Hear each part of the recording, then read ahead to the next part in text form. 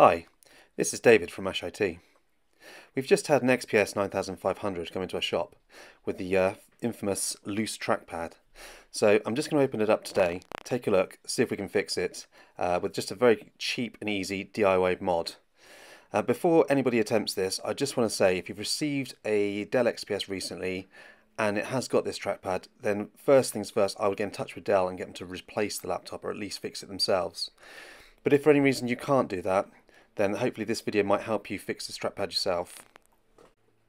Getting the base plate cover off is uh, pretty straightforward. You just remove the eight T5 uh, screws from the base plate. I used a plastic pry just to put it into the very front of the base plate, slide it round and lift it off from front to back. It came off pretty easily and didn't, you know, there was no clips to break. Once inside, we need to remove the battery. Again, quite a straightforward process. Eight screws, four on the top and four on the bottom to remove.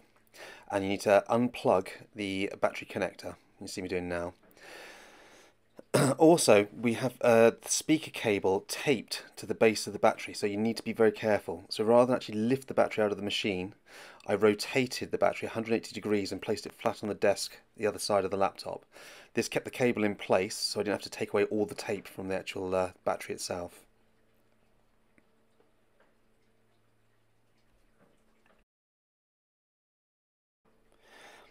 With the battery um, flipped out, we're exposing the back of the trackpad. Now this model, there often is a bit of play when you start pressing down on the trackpad itself. We're just going to put a small piece of tape onto the uh, metal frame around the trackpad, which gives it an extra bit of pressure when we put the battery back in, eliminating that play.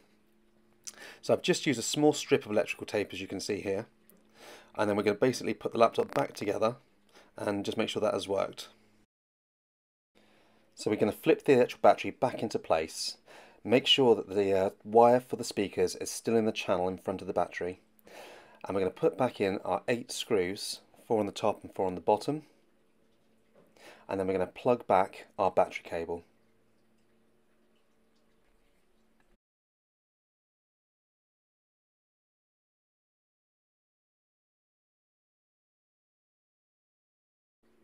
Lastly, put the base plate back onto the laptop and use a little bit of pressure just to push it back and sort of clip it back onto the frame itself. When you're happy you've done that and it's all lined up, you're going to pop the 8 T5 Torx screws back into place.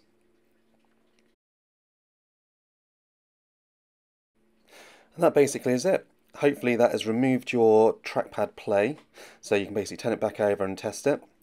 Um, if you've got any questions, pop them in the comments below and I'll certainly try and help. And please subscribe for further content. Thank you.